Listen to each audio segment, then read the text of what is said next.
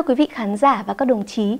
các bệnh lý về xương khớp nói chung và điển hình là các nhóm bệnh về viêm khớp hiện đang gia tăng nhanh chóng trên toàn cầu cũng như tại Việt Nam trong những năm gần đây, trở thành gánh nặng cho xã hội. Đặc biệt là trong thời tiết rét buốt thất thường của mùa đông thì các mặt bệnh này đang có nguy cơ ngày càng bùng phát.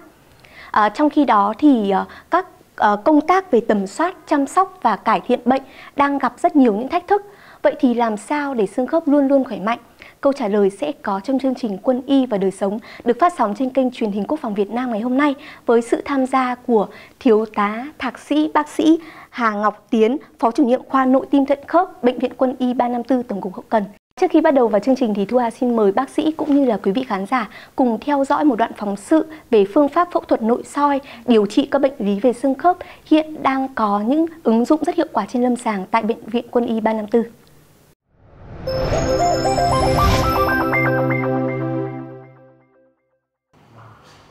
Đồng chí Trần Dư Đức đang được các bác sĩ khoa chấn thương chỉnh hình Bệnh viện Quân y 354 tiến hành các bước đánh giá, kiểm tra lần cuối trước khi tiến hành ca mổ, xử lý tình trạng đau nhức, hạn chế khả năng sinh hoạt, vận động. Trước khi nhập viện, đồng chí Đức phục vụ tại một đơn vị đặc thù của quân đội. Trong quá trình công tác, dễ gặp phải những tình huống nguy hiểm, mất an toàn, chấn thương. Cách đây một tuần, bệnh nhân bị va đập đầu gối trái khi tiến hành huấn luyện một khoa mục khó, dẫn tới hậu quả là đứt dây chẳng chéo trước và nứt sụn trên khớp gối. Cảm giác đau nhói kéo dài, đi lại rất khó khăn, không thể tiếp tục thực hiện những nhiệm vụ được nữa. Tình trạng này tương tự như chấn thương mà bệnh nhân đã gặp phải 2 năm trước. Chính vì vậy, quân y đơn vị đã nhanh chóng đưa người bệnh trở lại bệnh viện quân y 354 để tìm được hướng điều trị tối ưu nhất. Chúng tôi là là lao động đặc thù. Trong ờ, huấn luyện thì có rất nhiều những cái nguy hiểm, những cái tác động mà có thể gây ảnh hưởng đến ờ, chấn thương về cột sống hay là đầu gối hay là mắt cá. Bản thân tôi là trong quá trình huấn luyện là tôi có bị đứt dây chằng đầu gối, hai hai đầu gối, hai chân. Khi mà biết mình bị chấn thương thì tôi đi lại khó khăn này. Lên cầu thang thì nó đau nhói về cái đầu gối, đau nhói sau đó là ra viện chụp chiếu thì tôi phát hiện là bị đứt dây chằng. Cách đây 2 năm thì đồng chí bác sĩ thu đã mổ tôi ờ, chân phải và bây giờ đi lại bình thường. Sau 2 năm tôi quay lại thì tiếp tục khắc phục ờ, đầu gối chân trái. Khớp gối là khớp lớn nhất cơ thể, có cấu trúc giải phẫu rất phức tạp. Phía trên là đầu dưới xương đùi, phía dưới là đầu trên xương chày, phía trước là xương bánh chè các xương này đã được đảm bảo vững chắc nhờ dây chẳng chéo trước, dây chẳng chéo sau, dây chẳng bên trong và dây chẳng bên ngoài cùng với hệ thống cơ giúp chúng ta thực hiện được các động tác vận động, đi, đứng, chạy nhảy. Ngoài ra còn có hai sụn chêm là sụn chêm trong và sụn chêm ngoài, có tác dụng hấp thu bớt lực hỗ trợ chuyển động của đầu gối, tránh khớp gối cọ sát vào sụn khớp, làm hư sụn khớp, thoái hóa khớp gối. Trước tình trạng chấn thương cũng như mong muốn của bệnh nhân là sớm được trở về đơn vị công tác, các y bác sĩ đã quyết định áp dụng phương pháp phẫu thuật tiên tiến hàng đầu hiện nay là phẫu thuật nội soi khớp gối On Inside. Đây là kỹ thuật xâm lấn tối thiểu điều trị đứt dây chẳng chéo, sử dụng thanh ngang bằng titan và chỉ siêu bền, giúp gân xương được cố định chắc chắn, sớm liền lại, giảm tối đa nguy cơ nhiễm trùng, giảm đau trong sau mổ tốt. Đây là kỹ thuật mới trên thế giới, mới được triển khai ở một số bệnh viện đầu ngành về nội soi khớp ở Việt Nam trong thời gian vài năm trở lại đây. Khi áp dụng những cái kỹ thuật ờ, cao để điều trị cho những bệnh nhân bị tổn thương khớp thì ờ, việc chuẩn bị cũng như là tiến hành phẫu thuật chúng tôi cũng phải ờ, lưu ý rất nhiều khâu, nhiều vấn đề quan trọng ừ, nhất là khâu đảm bảo yếu tố vô khuẩn. Vì phẫu thuật à, nội soi khớp gối nói riêng và phẫu thuật à, vào khớp nói chung là những phẫu thuật đảm bảo uh, vô trùng tuyệt đối tránh được cái biến chứng uh, nhiễm trùng khớp sau phẫu thuật. Uh, cái quy trình của bệnh viện chúng tôi kết hợp um, với khoa chống nhiễm khuẩn khoa gây mê hồi sức và các bác sĩ phẫu thuật tuân thủ nghiêm ngặt các cái quy trình à, vô khuẩn trong chuẩn bị trước mổ, trong mổ và sau mổ.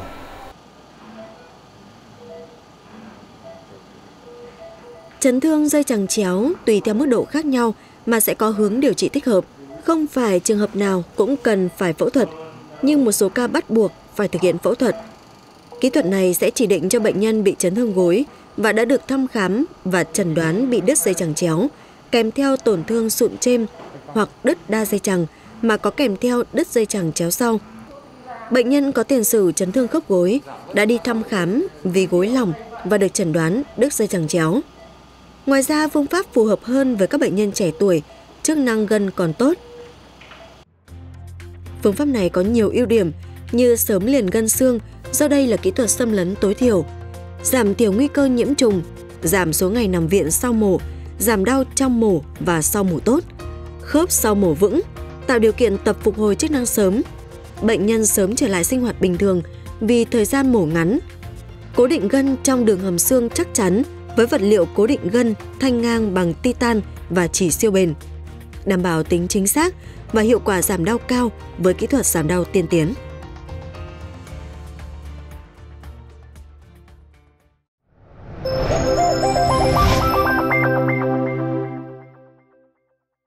Bác sĩ, qua đoạn phóng sự vừa rồi thì chúng ta cũng hy vọng rằng là với những tiến bộ của y học thì sẽ giúp cho quá trình ờ, điều trị các bệnh lý về xương khớp có thể dễ dàng và thuận tiện hơn đối với người bệnh. Và trước khi đến sâu hơn với các câu hỏi về các phương pháp phẫu thuật nội soi thì ờ, chúng tôi cũng muốn được biết rõ hơn về các nguyên nhân gây ra các bệnh lý về xương khớp. Tại sao các bệnh lý xương khớp về mùa đông thì thường mắc nhiều hơn và nghiêm trọng hơn ạ? Vâng,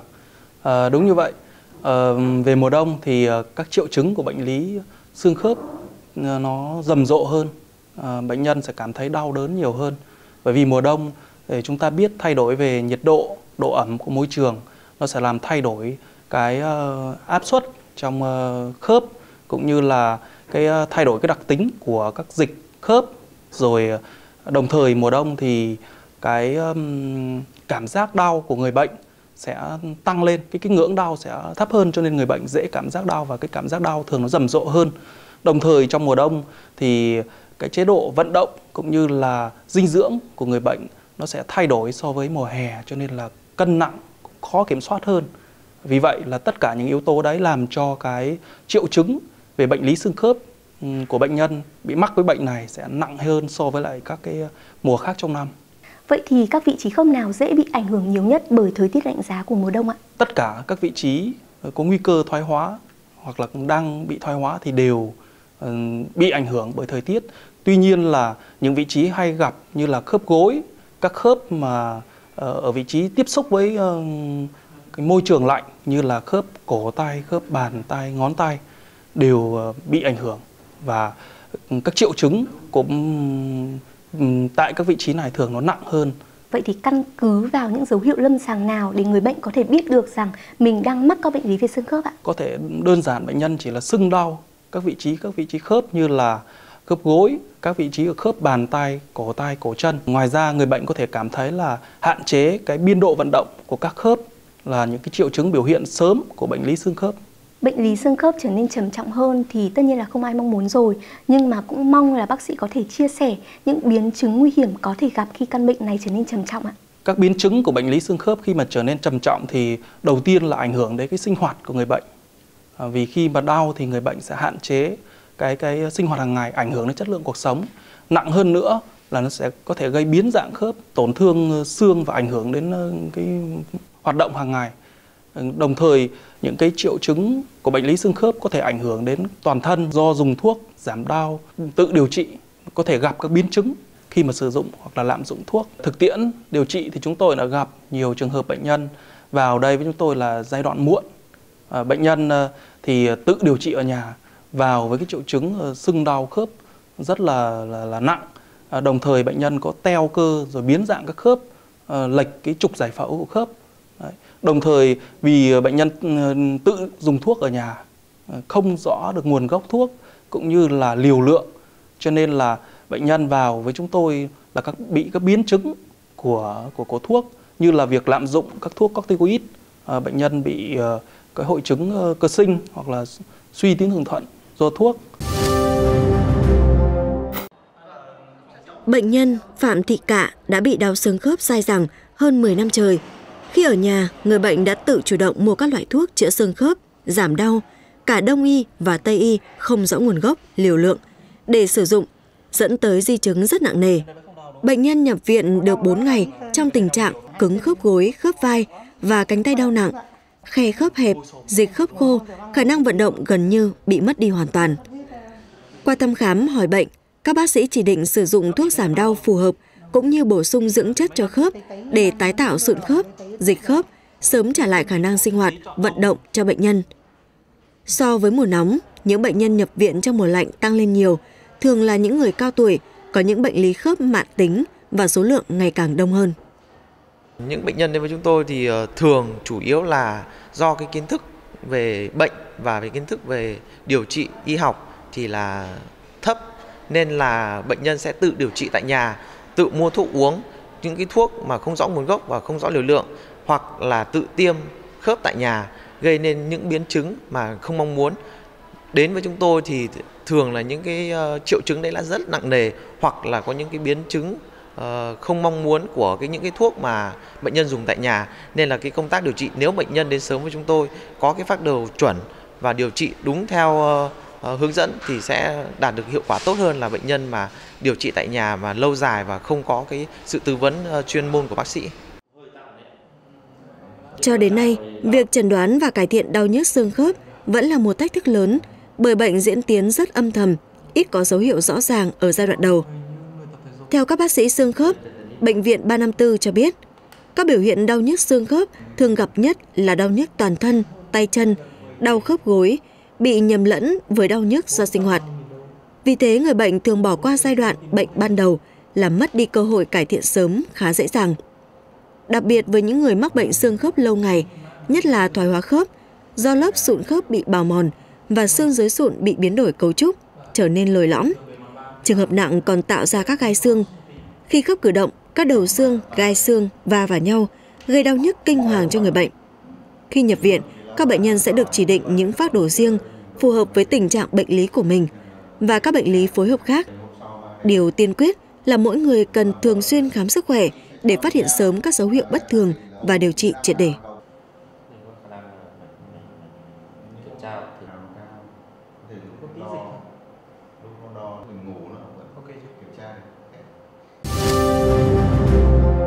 Hãy cùng chúng tôi tiếp tục cuộc trò chuyện ngày hôm nay với Thiếu tá Thạc sĩ bác sĩ Hàng Ngọc Tiến đến từ Bệnh viện Quân y 354 Tổng cục Hậu cần. À, vâng ạ, thưa bác sĩ, ở phần đầu của chương trình thì chúng ta có thể thấy được những hiệu quả của phương pháp phẫu thuật nội soi trong điều trị các bệnh lý về xương khớp. Những phương pháp ra đời sau thì thường có những tiến bộ và hiệu quả hơn so với các phương pháp và và những cái kỹ thuật trước đó. Vậy thì khi đã có phẫu thuật nội soi rồi thì các phương pháp mổ mở hay là các kỹ thuật khác sẽ có vai trò ra sao ạ? Tất cả các phương pháp đều có cái vai trò nhất định đối với lại tùy giai đoạn của ờ, người bệnh. Vì vậy là ờ, ở mỗi giai đoạn ờ, của bệnh nhân thì chúng tôi có những cái chỉ định phù hợp. Giai đoạn bệnh nhân sớm thì chúng tôi điều trị nội khoa và các biện pháp vật lý trị liệu. Nếu có chỉ định can thiệp ngoại khoa thì lúc đấy chúng tôi sẽ phẫu thuật. Mỗi trường hợp bệnh nhân khác nhau thì có những cái đặc điểm lâm sàng cũng như là giai đoạn bệnh khác nhau. Vì vậy là người bệnh cần phải tuân theo cái chỉ định của các chuyên gia cũng như là các à, bác sĩ chuyên môn à, về cái lĩnh vực đấy và chúng ta ừ, người bệnh cũng không nên yêu cầu ừ, thực hiện một cái kỹ thuật khi mà chưa có chỉ định. À, nếu mà bệnh nhân có những cái chỉ định cần thiết phải can thiệp ngoại khoa thì lúc đấy thì chúng tôi sẽ tư vấn cho người bệnh để ờ, đảm bảo làm sao cho cái kết quả điều trị được tốt nhất và lúc đấy thì người bệnh cũng không nên là là là quá lo lắng về ờ, những kỹ thuật về can thiệp cũng như là liên quan đến mổ mà để ờ, bệnh nó trở nên trầm trọng hơn để giai đoạn muộn và kết quả điều trị nó hạn chế. Như vậy là tất cả các phương pháp đều có vai trò và có nhiệm vụ riêng và chúng ta không nên tuyệt đối hóa bất kỳ một phương pháp nào phải không thưa bác sĩ? Đúng như vậy. Vậy thì còn phương pháp phẫu thuật nội soi khớp gối thì sau khi phẫu thuật xong chúng ta có cần bổ trợ thêm các phương pháp nào không ạ? Kỹ thuật mổ nội soi là một kỹ thuật uh, tiên tiến giúp cho quá trình chăm sóc bệnh nhân sau uh, mổ thì nó nhẹ nhàng và nó uh, đỡ phức tạp hơn so với phương pháp mổ mở. Tuy nhiên là kể cả sau quá trình mổ nội soi hay mổ mở thì bệnh nhân đều phải được theo dõi chăm sóc cũng như là phải được cái điều trị phục hồi chức năng để mà phục hồi cái cái cái vận động cũng như là tăng cường cái sức mạnh của hệ cơ xương uh, sau quá trình là khôi phục lại cái giải phẫu của của, của khớp. Mới chỉ cách đây một tháng thôi, việc chủ động di chuyển lên xuống cầu thang như thế này là một điều nằm ngoài khả năng của ông Lại Phú Vạn. Ông Vạn thường xuyên chơi bóng bàn. Chính tự yêu cầu của bộ môn này là phải di chuyển nhanh nhẹn liên tục, cùng với việc không tránh khỏi trượt ngã, đã khiến ông bị rách dây chằng đầu gối. Tuy nhiên do tâm lý chủ quan, tự tin vào sức khỏe của mình, cộng với cơn đau ngắn, chưa ảnh hưởng quá nhiều, nên ông đã chủ quan không thăm khám, điều trị kịp thời, chỉ uống thuốc hay dùng các loại cao, rượu xoa bóp tạm thời, nên càng ngày tình trạng bệnh càng nặng hơn. Việc uống thuốc đã không còn tác dụng nhiều nữa, phải tiến hành phẫu thuật. Tôi bị à, cũng à, 5-6 lần rồi. Thế tất cả các cái lần ấy là tôi rất đau. Có uống thuốc giảm đau rồi xoa bóp rồi làm các cái công việc khác để cho nó đỡ đau. Nhưng mà càng về sau này, càng các cái lần về sau này thì tôi cảm thấy rất đau. Và đến cái lần cuối cùng là nó bị đau và tôi bị chấn thương, không đi được, phải dùng nạng dùng nẹp và đi lại, rất khó khăn. Thế là bắt buộc tôi phải vào viện. Phẫu thuật là một chỉ định rất quan trọng có tác dụng điều trị tốt đối với bệnh lý xương khớp. Tuy nhiên điều đó không có nghĩa là sau khi mổ, bệnh nhân sẽ phục hồi hoàn toàn. Để sớm trả lại khả năng sinh hoạt, vận động, thì người bệnh sẽ cần phải tiến hành các bài tập vật lý trị liệu, phục hồi chức năng trong 1 đến 2 ngày sau khi tiến hành phẫu thuật. Phục hồi chức năng vận động có vai trò đặc biệt quan trọng. Các kỹ thuật tập phục hồi chức năng khớp gối giúp làm giảm nguy cơ cứng khớp, tăng cường sức cơ và giúp người bệnh sớm phục hồi chức năng vận động. Những bài tập này sẽ được các kỹ thuật viên có chuyên môn giúp đỡ, hướng dẫn cho bệnh nhân với mục tiêu hạn chế tối đa ảnh hưởng đến hiệu quả của phẫu thuật, đồng thời thúc đẩy nhanh nhất quá trình hồi phục cho người bệnh. Trong các điều trị về bệnh lý xương khớp thì đối với bệnh lý các bệnh lý xương khớp nội khoa, ngoại khoa thì mỗi một cái mặt bệnh nó đòi hỏi những yêu cầu, những cái gọi phương pháp trị liệu đặc trưng cho từng nhóm bệnh cũng như đối với từng bệnh nhân cụ thể. Thế thì ờ, trước để mà có thể đạt được hiệu quả cao nhất thì chúng tôi phải phối hợp rất chặt chẽ đối với các khoa lâm sàng ờ, ví dụ như các khoa tim thận khớp, các khoa thần kinh, các khoa chấn thương ờ, thăm khám kỹ bệnh nhân, có sự trao đổi, hội trần với các đồng nghiệp. Thế thì trên mỗi bệnh nhân cụ thể sẽ đề ra những phương pháp trị liệu rất cụ thể cho từng bệnh nhân. Nhờ đó là cái kết quả điều trị thì nó sẽ tốt hơn. Tôi thấy đau xương khớp lắm nhất là cái bả vai đau xương bả vai xong buốt đến các ngón tay. Như đến đây được sự giúp đỡ ờ, tận tình của các bác sĩ ấy, là vừa châm cứu cho tôi này vừa thủy châm này vừa palatin là bọc nến này xong lại coi như tập cả uh, chức năng. Tôi thấy dễ chịu mà tôi, tôi cứ thích đến cái ừ, hai giờ đó tôi muốn để đi vào đây để châm cứu. Bệnh viện Quân y 354 đã xây dựng được quy trình phối hợp chặt chẽ, tối ưu giữa các khoa chuyên môn để mang lại sự hài lòng nhất cho bệnh nhân trong điều trị các mặt bệnh nói chung cũng như bệnh xương khớp nói riêng. Trong đó phát huy thế mạnh của vật lý trị liệu, phục hồi chức năng, nhận thức của thầy thuốc, bệnh nhân và cả cộng đồng với vai trò của phục hồi chức năng ngày càng nâng cao, dẫn tới những thuận lợi để bác sĩ chỉ định một phác đồ điều trị tổng hợp. Vật lý trị liệu có thể ứng dụng rất đa dạng trong điều trị các bệnh lý xương khớp. Với nội khoa có thể kể đến là thoái hóa cuộc sống, thoái hóa khớp gối, khớp vai. Còn các mặt bệnh về ngoại khoa như điều trị tổn thương, chấn thương, hỗ trợ chuẩn bị trước và sau phẫu thuật dây chẳng chéo, thay khớp gối, khớp háng hay các phẫu thuật kết xương khác. Thưa bác sĩ, trước đây thì các đối tượng ví dụ như là người cao tuổi hay là những người lao động nặng nhọc thì thường mắc các bệnh lý uh, xương khớp nhiều hơn. Vậy thì hiện nay tình trạng đó như thế nào? Trước đây thì các đối tượng mắc bệnh ờ, xương khớp thường là những người cao tuổi hoặc lao động nặng nhọc. Tuy nhiên là với xã hội hiện đại và cái ờ, ờ, đặc thù công việc người trẻ bây giờ là có xu hướng là ít vận động cũng như là công việc liên quan đến công việc văn phòng, tình trạng kiểm soát cái cân nặng nó không tốt cho nên là xu hướng bệnh lý cơ xương khớp có xu hướng là trẻ hóa hơn. Tỷ lệ người trẻ mắc các bệnh lý về xương khớp thì có xu hướng là gia tăng. Tại đơn vị làm việc chúng tôi thì người trẻ hay gặp các bệnh lý về về về xương khớp đó là các bệnh lý liên quan đến cột sống cổ như là hội chứng cổ vai hoặc là những bệnh lý về cột sống thắt lưng. Với đặc thù hoạt động quân sự thì những lĩnh vực hay là những lực lượng nào có nguy cơ cao mắc các bệnh lý về xương khớp ạ? Hoạt động quân sự là một hoạt động đặc biệt và nặng nhọc trong môi trường điều kiện phức tạp, đòi hỏi phải cái đối tượng Ờ, thực thi nhiệm vụ phải ờ, nhanh nhất, chính xác nhất. Vì vậy mà ờ, tất cả những chiến sĩ cán bộ hoạt động trong môi trường quân sự đều có nguy cơ mắc bệnh lý về xương khớp. Tuy nhiên là cái tỷ lệ mắc bệnh lý cơ xương khớp ở những cái đối tượng lao động nặng nhọc và có những đặc thù như là công nhân làm việc trong nhà máy rồi lực lượng đặc công, lực lượng biên phòng tiếp xúc với môi trường khắc nghiệt cho nên là cái tỷ lệ mắc về bệnh lý cơ xương khớp những đối tượng này có nguy cơ cao hơn. Xin bác sĩ hãy đưa ra một vài lời khuyên để có thể duy trì sức khỏe của hệ xương khớp cho tất cả mọi người và đặc biệt đó là các chiến sĩ, các lực lượng à, hiện đang công tác tại các lĩnh vực đặc thù mà có nguy cơ cao mắc các bệnh lý về xương khớp ạ? Để dự phòng các bệnh lý về ờ, xương khớp thì thứ nhất chúng ta phải có chế độ ờ, sinh hoạt, làm việc, uh, lao động một cách hợp lý, phải kiểm soát được cái dinh dưỡng, tránh tình trạng là tăng cân.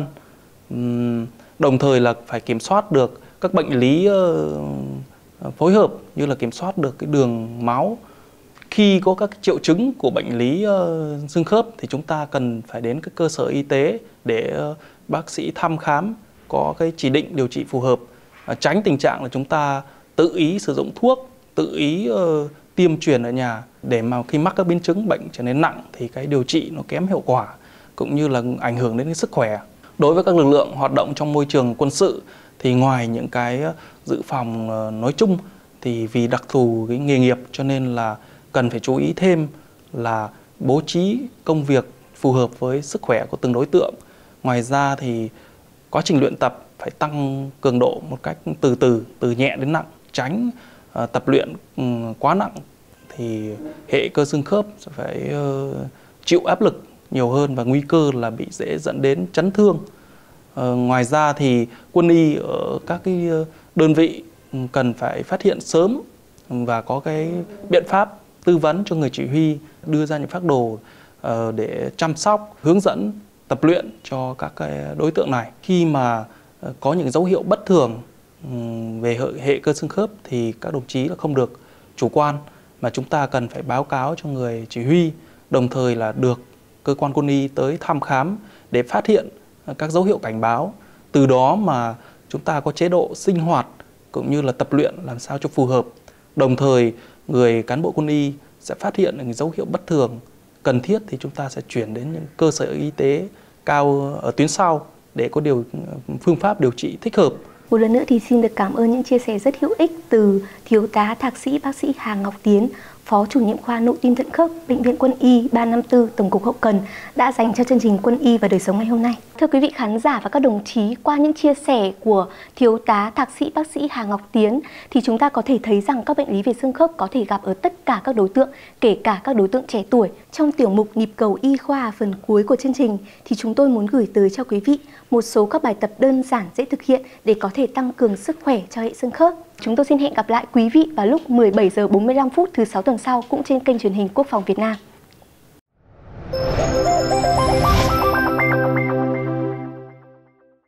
Xin kính chào các đồng chí và quý khán giả xem truyền hình. Hôm nay tôi xin phép được giới thiệu bài tập con lăn có tác dụng chữa đau cổ vai, thắt lưng, tăng cường tuần hoàn não, chữa đau đầu, mất ngủ. Sau đây tôi sẽ hướng dẫn bài tập. Thứ nhất là tập vùng cổ vai gáy.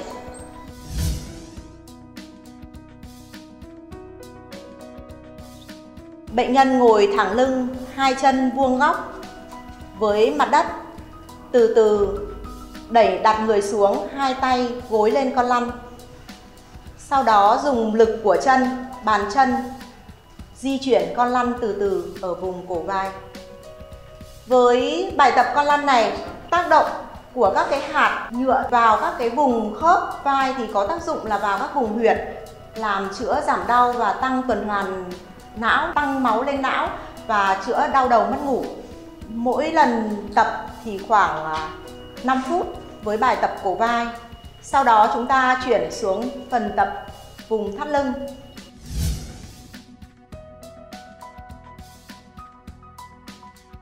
Với bài tập phần vùng thắt lưng thì bệnh nhân ngồi chân vuông góc với mặt đất và con lăn đặt ở giữa vùng gót và vùng hông. Sau đó từ từ nằm xuống, dùng gót chân đẩy nhẹ con lăn lên lưng, dùng hai tay đỡ con lăn, đặt con lăn ở vùng lưng và xoay hông sang hai bên,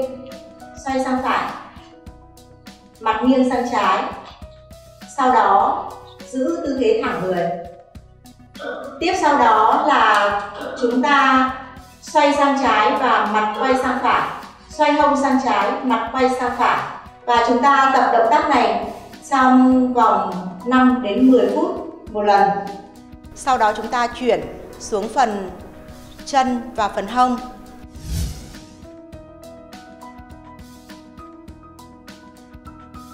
Khi tập ở phần chân và hông thì bệnh nhân ngồi trên con lăn và hai tay chống về phía sau, dùng lực của chân đẩy con lăn di chuyển. Con lăn trượt dài trên phần đùi và khi đẩy chân ra thì hai chân dang rộng và khi thu chân vào thì hai chân khép lại có tác dụng là làm giảm đau tê cho đối với những người thoát vị đĩa đệm và tê chân. Sau đó chúng ta tập tiếp đến phần cẳng chân thì bệnh nhân ngồi và cẳng chân đặt lên phần con lăn và dùng lực của hai bên cẳng chân lăn đi lăn lại trên con lăn. Với con lăn này có những cái hạt bằng sợi silicon y tế thì có tác dụng là khi mình day thân mình mình đặt trên con lăn thì các cái hạt silicon sẽ tác động vào các huyệt đạo trên cơ thể giúp khai thông huyệt đạo lưu thông máu trong cơ thể và giúp tăng cường tuần hoàn và làm giảm đau xương khớp, thắt lưng và cuộc sống cổ.